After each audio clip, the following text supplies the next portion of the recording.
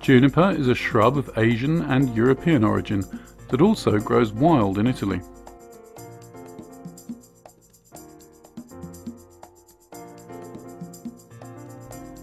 Its foliage is either spiniform or in the form of flakes and is waxy and evergreen, giving off an intense odour when rubbed between the fingers.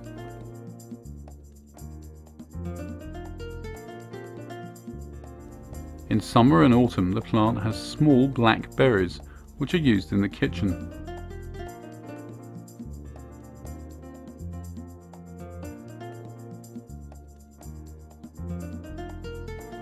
It is a vigorous and hardy shrub, not growing too fast, which can be grown as an individual or to form dense thorny hedges. It should be grown in a sunny place, in a good, very well drained soil.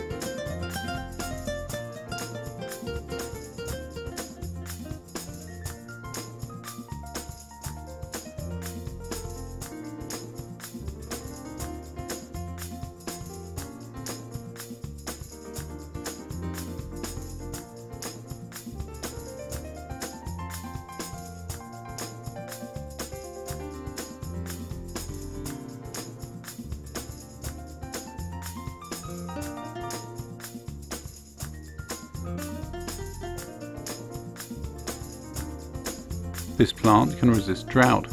It is usually watered at the time of planting and in the event of a prolonged drought, but specimens that have been growing for a long time tend to be satisfied with natural rainwater.